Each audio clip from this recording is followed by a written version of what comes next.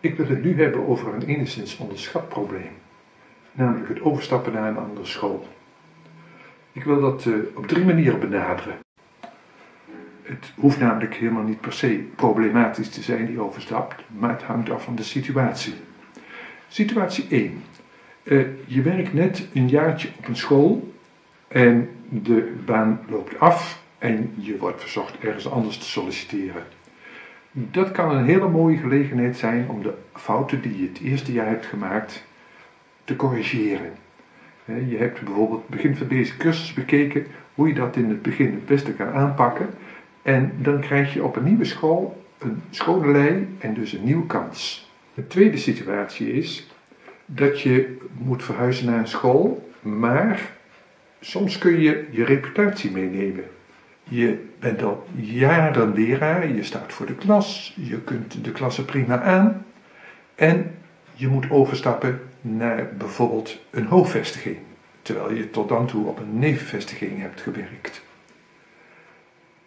Dan kan zich de situatie voordoen, zoals bij mij, dat je daar komt. Ik uh, werd gevraagd om in 4 HAVO maatschappijleer te geven. En wat bleek, in die klas zaten een aantal van mijn leerlingen die ik in de vierde klas van de MAVO had gehad. Hoe het allemaal precies werkt in de communicatie onder leerlingen weet ik niet. Maar ze gedroegen zich meteen vanaf het begin zoals ik dat op mijn MAVO ook gewend was.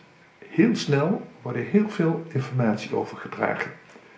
Ik had een keer aan het eind van de les, dat ik, eh, het was voor Sinterklaas, dat ik de loodjes had uh, laten trekken. Uh, het was een flinke klas van wel meer dan 25 man. En toen ze de loodjes hadden getrokken, stonden ze nog even te praten. Heel even, want het was het eind van de les en de klas vertrok. Maar er bleven twee of drie bij mijn bureau staan. Meneer, u heeft de briefjes van Gerards en van Leontien en van Wilma. Welke gaat u zelf nemen? Op zo'n moment denk je, hoe kunnen ze dat in hemelsnaam zo snel weten? Van de hele klas. Maar het lukt ze. Je kunt daar zelf ook gebruik van maken.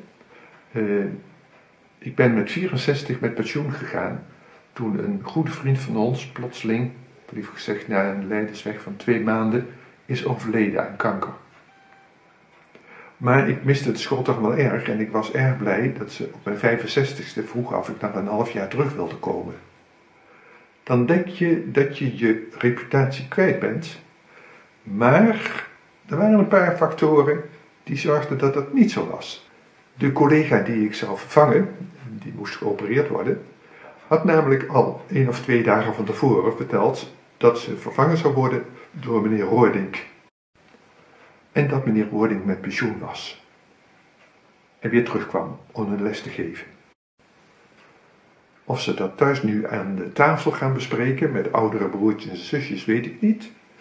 Maar de kinderen waren uitstekend op de hoogte van mijn reputatie. Ik kon dat zelf nog een beetje aanbakkeren door in de klas te vragen: wie van jullie heeft een broer of een zus die al een keer bij mij in de klas heeft gezeten? En ik kon eigenlijk verder gaan zoals ik dat normaal gewend was. Ik had mijn reputatie gewoon mee kunnen nemen. Nu komen we aan situatie 3. Namelijk, je gaat naar een andere school en de reputatie die je op je vorige school hebt opgebouwd is verloren. Op je nieuwe school zit niemand die ook maar iets weet van je voorgeschiedenis. In de jaren 90, eh, tijdens de grote fusiegolf, onze MAVO fuseerde samen met een eh, toen nog eh, LBO-school en een andere MAVO en een mixture van MAVO-HAVO in Hengelo tot één scholengemeenschap. De andere MAVO in Enschede moest worden opgeheven en toevallig kwam ik aan het eind van het jaar bij het personeelsuitstapje terecht bij een groep van collega's die op die MAVO hadden gewerkt en dus een overstap hadden moeten maken. En dat gesprek was echt heel erg interessant, maar het kwam er eigenlijk op neer dat ze allemaal, en dat was tamelijk eensluidend, het gevoel hadden dat ze helemaal het vak niet meer verstonden. Je realiseert je namelijk niet hoe zeer je in de jaren dat je op een school hebt gewerkt een reputatie hebt opgebouwd. En dat leerlingen die voor het eerst in je klas komen, via oudere broertjes en zusjes, al een hele hoop van die reputatie weten en zich daar ook aan houden. Als je prettige, losse sfeer hebt, dan weten de leerlingen dat. Als je heel streng bent, weten ze dat ook. Maar zodra je op die nieuwe school bent, ben je gewoon een leeg blad. Dan begin je weer van vooraf aan.